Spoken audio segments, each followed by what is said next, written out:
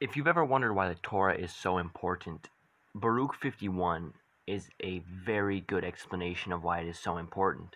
And it starts in verse 1. It goes, And it shall come to pass, when the appointed day has gone by, that then shall the aspect of those who are condemned be afterwards changed, and the glory of those who are justified. For the aspect of those who now act wickedly shall become worse than it is, as they shall suffer torment. Also, as for the glory of those who have been justified in my Torah, who have had understanding in their life, and who have planted their hearts the root of wisdom. Then their splendor shall be glorified in changes, and the form of their face shall be turned into the light of their beauty, that they may be able to acquire and receive the world which does not die, which is then promised them. For over this, above all, those who come lay, the, then lament that they rejected my Torah and stopped their ears that they might not hear wisdom or receive understanding. When therefore they see those over whom they are now exalted, but who shall be exalted and glorified more than they, they shall respectively be transformed, the latter into the splendor of angels, and the form shall yet more waste away in wonder at the visions and in the beholding of the forms. For they shall behold, and afterwards depart to be tormented. But those who have been saved by their works, and to whom the Torah has been a new hope and understanding and expectation, a, and wisdom, a confidence shall wonder appear in their time. For they shall behold the world which is now invisible to them. They shall behold the time which is now hidden from them, and time shall no longer age them. For in the heights of that world they dwell, and they shall be made like unto the angels, and made equal to the stars. They shall be changed into every form they desire, from beauty into loveliness, and from light into the splendor of glory.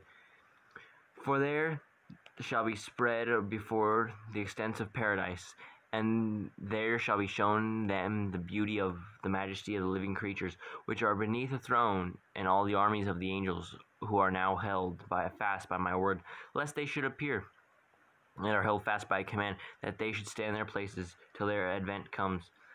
Moreover, there shall then be excellency in the righteousness, surpassing that in the angels. For the first that for the first shall receive the last, those whom they were expecting, and the last of those whom they used to hear that they had passed away.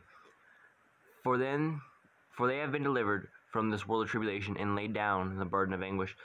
For or what then have men lost their life, and for what have those who were on earth exchanged their soul? For then they chose not for themselves this time which beyond the reach of anguish could not pass away, but they chose for themselves that time whose issues are whose issues are full of lamentations of evil, and they denied the world which ages not to come to it. And they rejected the time of glory, so that they shall not come to the honor of which I told you before. So that was a really long chapter, but that is so important because he says, Those who followed my Torah are going to be put like the angels. Those who did not turn their ears away from my Torah, my commands, my laws, my statutes, my commandments, those who do not turn away shall be sent to paradise. They shall be protected. They shall be watched over. They will be higher than the angels. They will be more beautiful than the stars.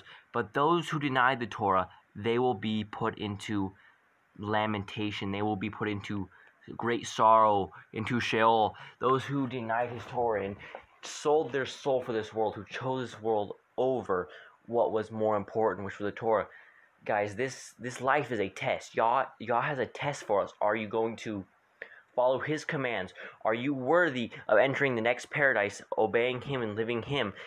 If you're not going to obey here. If, if you're not going to obey here, he doesn't want you in the next kingdom. He wants you, but he wants you in the way of the Torah. He wants you in his ways, the ways he has declared for us. The simplest things. Nothing here is hard. He says in 1 John 5 3, My my commands are not hard.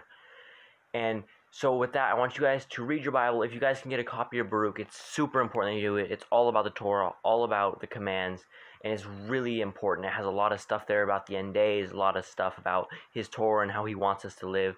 With that being said, read your Bibles. Have a good Shabbat.